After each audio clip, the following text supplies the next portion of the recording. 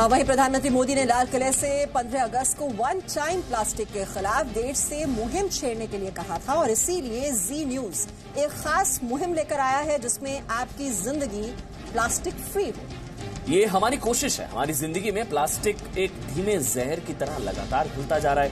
यही वजह है कि अब बारी इसके लिए जागरूक करने की है। जी न्यूज़ ये ज़िम्मेदारी निभा रहा है और आपको जागरूक करने की कोशिश कर रहा है। पीएम मोदी ने भी लाल किले की प्राचीर से ऐलान किया था कि अब प्लास्टिक को लेकर सबको एक साथ आना होगा।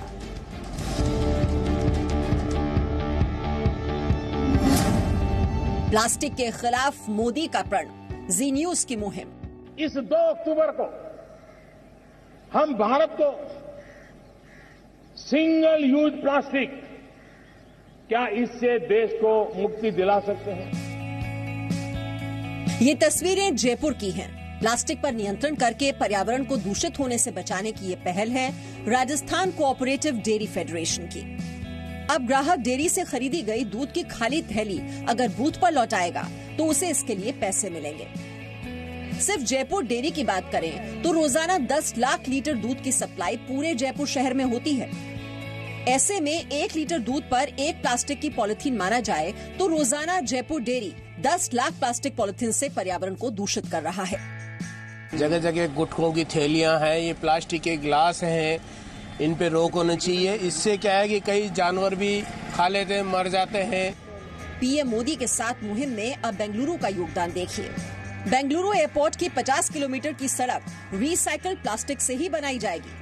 यानी बेंगलुरु एयरपोर्ट अब पूरी तरह इको फ्रेंडली हो जाएगा। बेंगलुरु एयरपोर्ट के लिए बनाई जाने वाली सड़कों पर 50 टन के प्लास्टिक बॉटल का इस्तेमाल किया जाएगा।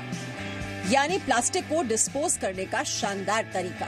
प्लास्टिक से बनाई गई सड़क न सिर्फ़ ज़्यादा मज़बूत होती है, बल्कि आम सड़कों से तीन गुना लंबी चलती है।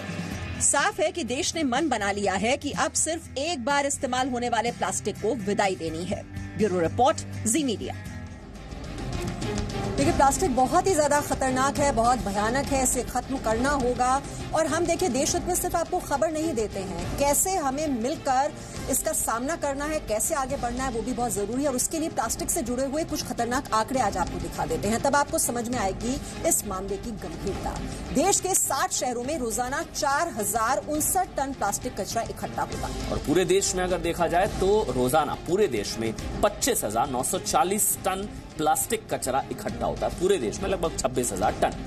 और एक खाली रफेल विमान जहाज़ का जो वज़न होता है, वो 10 टन होता है। और देश के रोज़ाना प्लास्टिक कचरे का वज़न अगर हम देखें तो वो दो हज़ार रफेल के बराबर है। मतलब रोज़ाना जितना कचरा इकट्ठा होता है इज़ इक्वल टू छब्बीस सौ रफाल विमान का वज़न। इसको इस तरह से आप सिंप्लीफाई तरीके से समझिए।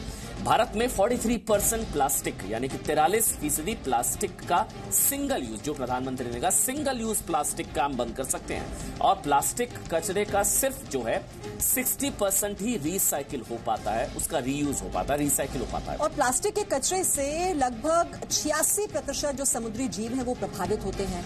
प्लास्टिक बॉटल को पूरी तरह से खत्म होने में साढ़े चार सौ, जी हाँ ठीक सुन रहे हैं आप, साढ़े चार सौ वर्ष लगते हैं। मतलब आप सोचिए, अगली बार जब आप पानी की बोतल लेकर फेंकेंगे तो उस बोतल को खत्म होने में साढ़े चार सौ साल लगेंगे। इतनी खतरनाक है ये सिंगल यूज़ प्लास्टिक